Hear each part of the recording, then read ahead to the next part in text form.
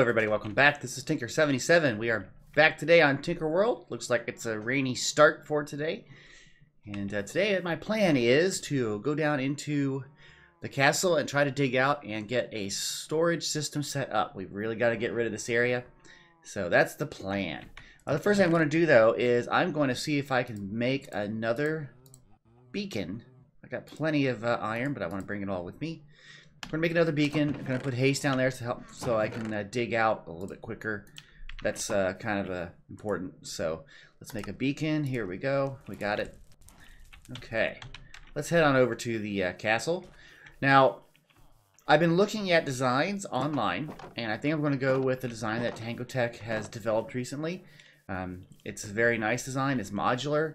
And so I'll be using that as my basis, and I'll put a link to that in the, uh, the description so that you can uh, see it and take a look at it. Maybe you can use it uh, for yourself.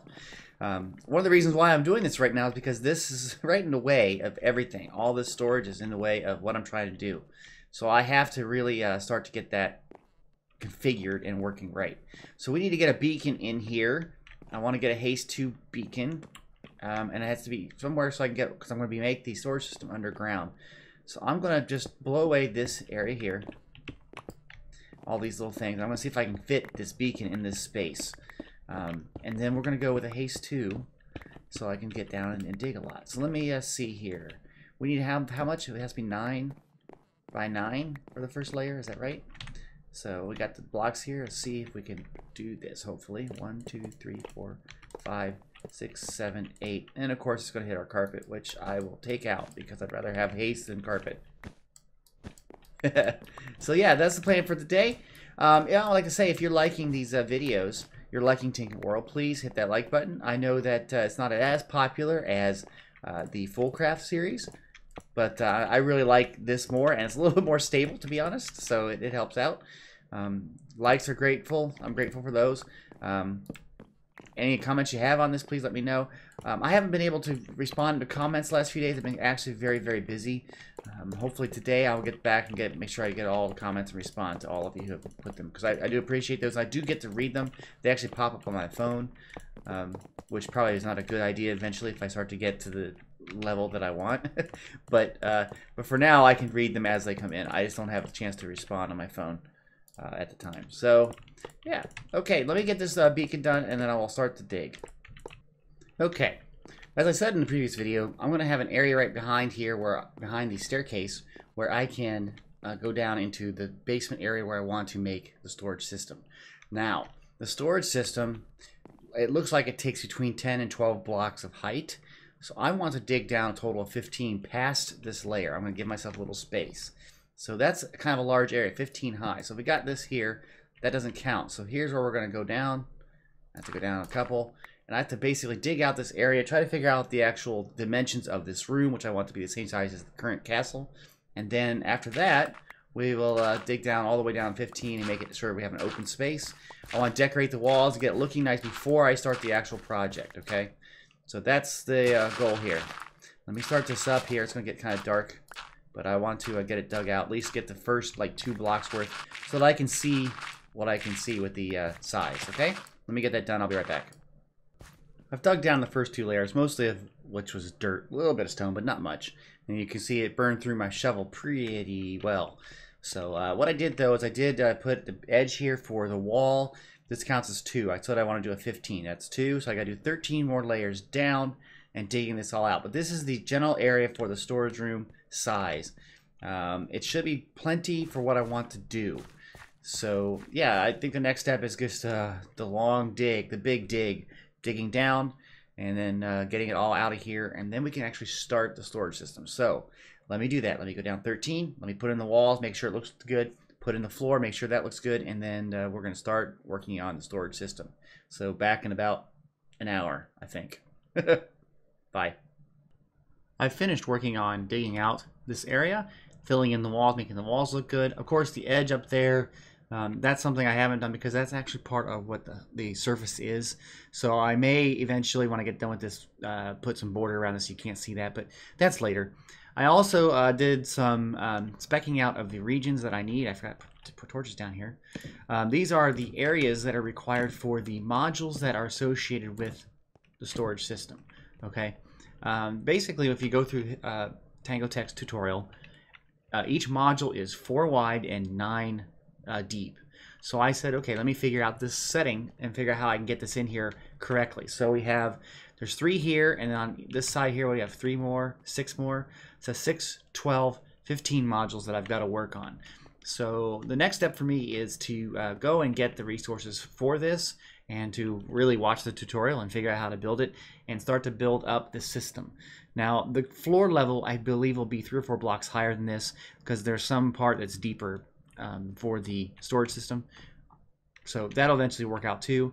So I'm going to, uh, like I said, go get everything and start this process. So bear with me. This build is going to take a lot of resources in the redstone category. So what I've done is I've gotten a, uh, box here. From what I can tell, I'm going to need a lot of comparators and repeaters. So I got a couple stacks of each. A lot of torches. And this is in case also I need to make more repeaters or uh, comparators. Six stacks of redstone. It's very uh, dropper intensive, so I made six stacks of droppers. Now, I may not need that much. I probably won't, but always hurts to have some more. And I've got a little over a stack of hoppers. I may need to get more of these. Um, I'm still waiting on the iron farm to catch up. So, you know, that's all I have right now. So now I'm going to go back to the storage area and start to lay out the first steps following the tutorial. So uh, when you next see me, hopefully I'll have some of this already done. I'm back down in the storage room. Uh, I started building the first module was right in this location. And uh, after I got through about half of it I kind of stopped building and watched the rest of the video only to find out that my spacing I need to have a space between modules that are right next to each other which I didn't have. So I had to remap that out and I did that. So now we have all the storage modules in the right positions and same thing down here. Now because I had to add two here it meant I had to take these modules and back one. Unfortunately it's the exact right size for that to work. So we're good to go as far as that. So then what I did was I just put in the chests so I kind of get an idea of what the room will look like. Now remember, I'm not going to be down at this level. The floor will be up a couple blocks higher than where I'm standing. You have to go a little bit deeper for the redstone. So I might have some sort of access way back here or something that I can get down in and look at this um, area back here. Also, I'm going to have a lot of dead space here in the corners. And I might use this space, maybe I'll come down from a tower or something to get into these spaces here that aren't quite going to be used um, with the storage system. So what I'm going to do now is I'm going to start to work on the actual redstone. Um, it's the redstone can be broken down into various steps. Uh, so what I'll do is I'll do a step and I'll do that step for all of these sections so that I know that I am consistent um, so I don't make any mistakes and just keep on working like that until we get the whole thing set up. So let me work on a little bit of this. Let's get some of the setup going here and uh, hopefully we'll get it. If you can see, it's looking really nice. Another progress update for you. I've been going through uh, little portions at a time and making sure I do all the portions on the same modules. These are modules, so you know what I mean. Each each double row or double column of chest is a module. So we have one, two, three, four, five here. We have five here and three there. So we have a total of 13 modules. So I would do every little step and then I would do, do it for all of those and then I would do the next little step and do it for all of those.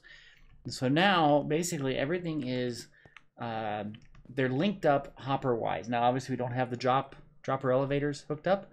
We don't have the uh, hoppers going into the chest yet. We don't have the, the redstone that goes up to run everything. None of that's in, but we have the modules are connected up. So right here, this center line really is uh, where there shouldn't be anything else. But what happens is, is this is the output line. You can see it goes in and goes over to the input line of the next module. And the same thing over here in the corners. In the corners, we have the same thing going out, going around, and over and in. So the functionality of this as far as like linking them up is all in, in place. So I'm going about this as fast as I can, but now that we're going to be going a little bit higher up, um, it's going to be a little harder because I'm going to do a lot more scaffolding. This was fairly easy. This part wasn't as much, but a lot of this running of hoppers was kind of easy because we're still on the ground. So I'm going to continue on. Uh, I believe the next part we're going to be doing is actually working on getting the hoppers and everything set up for the uh, chests, and then we're going to start to work on the redstone going to power those. Uh, once it gets all done, then I'll have some to do some filling of the chests and get this thing working. Okay, we're getting a lot further. It's looking a lot better. Looking a lot better. Um, I've added some of the circuitry here for the hoppers. So the next step, I think, in the video, I think we're going to put in the dropper elevators over here. And then we have a torch tower system on the back here, which will cause it to uh, function the way it's supposed to. And then once I get done with that, then all I have to do is I have to put items in the chests and get them kind of prepped. And I also want to make this place look a little bit better. Um, but it's getting there. It really is getting close. So, yeah. Um, the other thing that's been kind of a problem is that even though I've been trying to light this up pretty well, there still are some dark spots. And I've had uh, a couple of creepers have popped up. Uh, fortunately, I was able to kill them before they would get to me. Um, so nothing's really happened, but uh, it, it's a little scary. So I'm just I'm staying against this wall. So if it does, it happens over there, and I can probably see them and take them out. Okay, let me get started on the uh, dropper vaders. All right, we did it. The system is pretty much all ready to go. On this side over here, I hit that ladder by accident. On this side here will be the input. You can see it's kind of like a storage system of chests goes down in here, and this goes into the system. Goes through the whole entire system, and anything that doesn't get sorted will end up here in this chest. Now, I might make some uh, like uh, a storage area or something like for, for that sort of thing. Also for uh, like non-stackable items, they would end up there as well.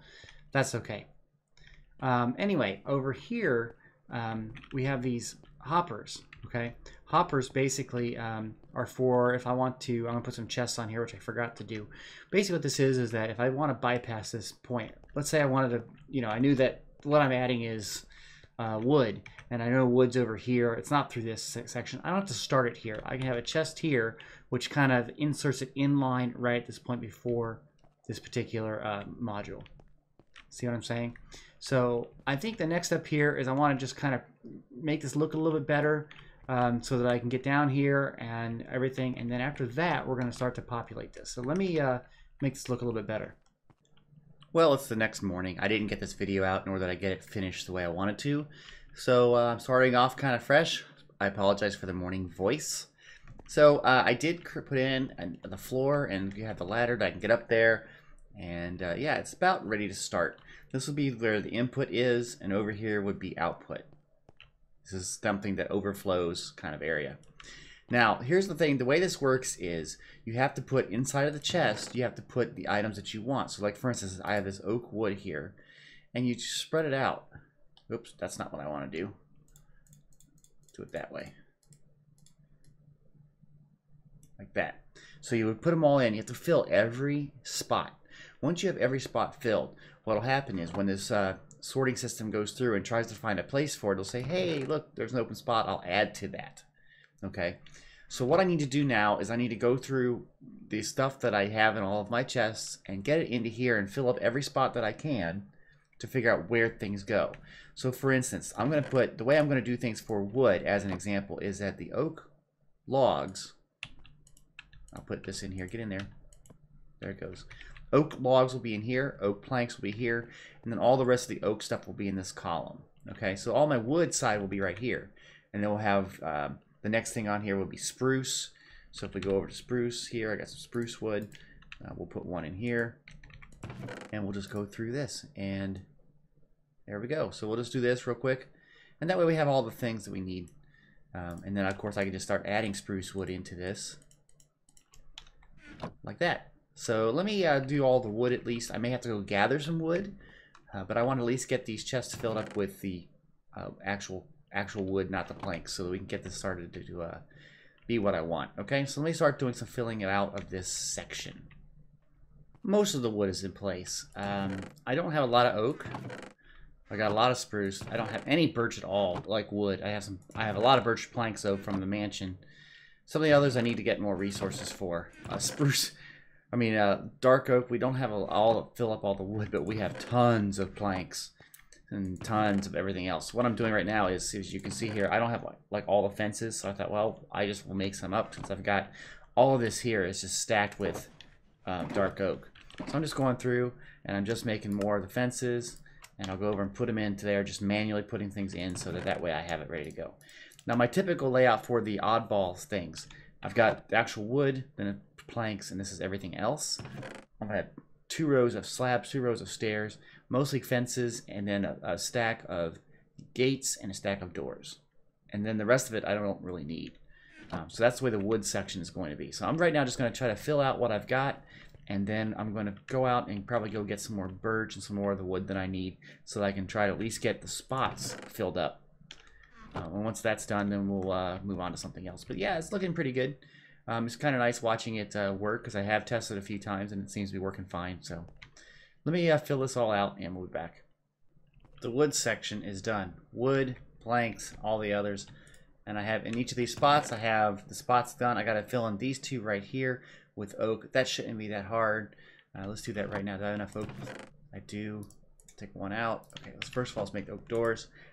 It's pretty easy. Just grab what you need. Um, and I have these filled out, so it should work pretty much easily. So put those right there. And I also need to make an oak fence. I have some spare sticks up here, so we'll just make an oak fence gate. And there we go. So everything is set up. All of these have what they need. Looking really good. Okay, so I'm going to make this column right here be all the other oddball wood things. Signs, uh, sticks, torches, that sort of thing. Wood. And then we're going to start to go into the stone set. So I'm going to keep on repopulating this. And uh, it's getting there. I've been slowly getting the stone items in. We got cobble, andesite, granite, and diorite. And on the opposite side, it's kind of like the refined version of that. So cobble will be stone. And the rest of these will be polished, andesite, granite, and diorite. Now I have dirt and grass here, and I have gravel and sand. And so I've been clearing out my storage that's been up here in the uh, castle, and I've also been clearing out the storage that's over in the uh, my little campsite. So we're doing really well on that. So the next column here, I think is going to be things like the uh, stone slabs and uh, stone walls and that sort of thing. Uh, stone brick, um, what have you. So I got to figure this out. I'm slowly going through this. I'm going to keep on going for a while, and then um, you know I'm getting close to running out of time for this video. So let me go a little further and see how far I can get before this video ends. I'll probably have to do the rest of it in another video. Um, so let me uh, just keep on going. I just want to show you that, that this is working out really well um, and it's sorting just how I want. I think this will be the final progress clip for today. Uh, most of these columns have been filled up. All the chests have been filled correctly. Of course, I haven't filled all of these over here. Uh, for instance, like the, the smooth sandstone and sandstone and that thing. So, oh, wrong button. So I still have to fill them in and figure out what I want like in these squares. So it works up to this point, uh, and that's okay. So I've got most of the stone, uh, like weird stuff, you know, the the slabs and the uh, cobblestone and things. And then we got some of the stuff from the nether. And I have, like I said, three chests here. I don't have anything. And I started doing redstone items. Now, for instance, like this says repeater, I share it with repeaters and comparators. So that's fine too. Uh, pistons will be the same thing. And this will be more redstone items. Then over here in the center, I'm going to put my uh, valuables. And I have almost a full chest of uh, diamonds there to fill out plus a little bit. And emeralds, just got one extra, so that's good from the villager trading station. I'm doing gold, and I'm also putting nuggets. So when I get enough nuggets, I'll make them into gold. And the same thing with iron. I have blocks, iron bars, and nuggets. Okay. And we'll do the same thing with lapis, and of course you can't do anything with ender pearls. But that's the idea. Now eventually, on this side, what I'm going to do is I'm going to do a lot of the colored items.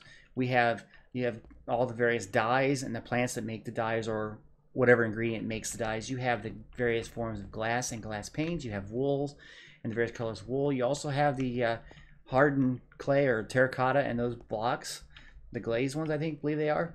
So there's a lot of stuff over here that'll be more of the colored area that I'll be doing. Okay.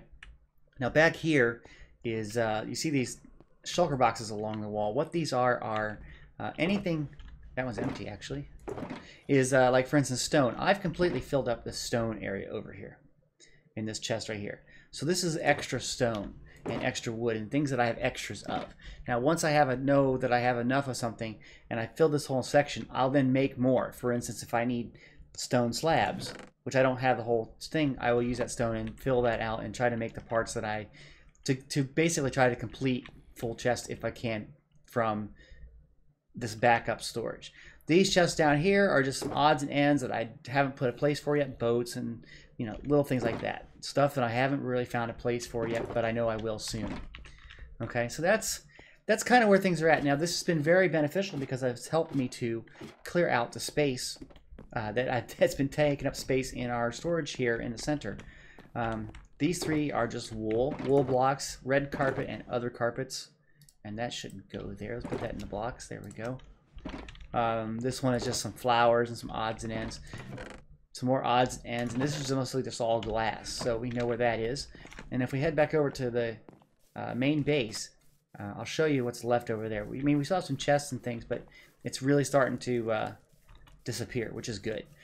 I really want to get all of that done and gone. So if I go over here, you can see um, the, the smelters there, but uh, these bank of chests are right here, which were, uh, if you recall, they were wood, redstone, nether, and then all the stone stuff are gone. This has filled with a lot of the odds and ends, junk drawer type stuff.